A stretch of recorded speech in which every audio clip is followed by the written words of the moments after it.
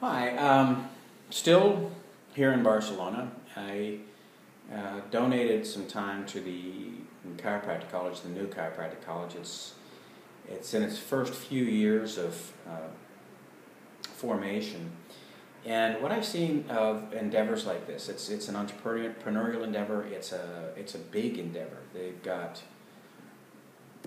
hundreds, a hundred students maybe, and they're planning on tripling that this uh, fall with their matriculation. And I've uh, met some of the members of the administration, and, and, we've talked. And, and last week they said, okay, it, we're ready for you to come in, and, and, if you would. And I said, oh, man, I'd love to come in. Uh, and so we spent a couple hours together last week, and I met a bunch of absolutely fascinating individuals the one one of the men who was kind of administrative teaching position, uh, his name is Pablo.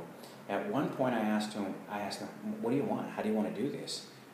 And he said, "You know," he said, "Every couple of years, I want to destroy this thing. He said, I want to just take it down to its shell." And I'm looking at the man who started the college and the number one uh, technique teacher who've been in this, and they've got a lot invested in it. I'm looking at them thinking, holy cow.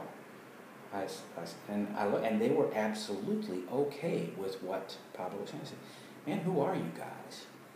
Because I think what he is saying is true. I think if you have an organization in this day and age and you're not willing to destroy it and let it go, uh, he came up to me and he said, you, afterwards, and he said, you know, we have to keep the systems in place that we built. He said, not talking about that. He said, I'm talking about dropping everything else and then seeing what comes out of it so we can keep this university progressing.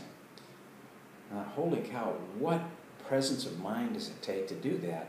But then what sort of commitment from the people who have started it to sit there and look and go, yeah, that, that, that'd be a good idea. Mean, most people are trying to desperately hold everything together that they've built.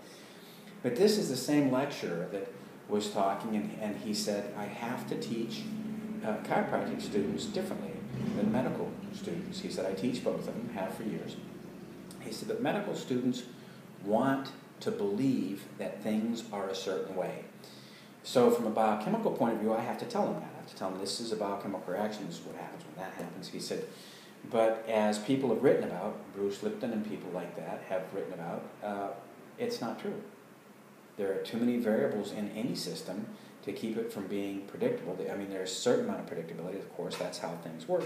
But there are all, all the time these things that are unpredictable. And like I said, this is the same man who said, Yeah, I want to destroy this from time to time and see what comes out of it. I think that's where we're headed. I think in the new millennium we have to be willing to allow the Buddhist concept of impermanence infiltrate every aspect of our lives let it be destroyed and see what comes out on the other side. But that may be Scorpio thinking for you. MIC, peakperformance.com. Have a fun day.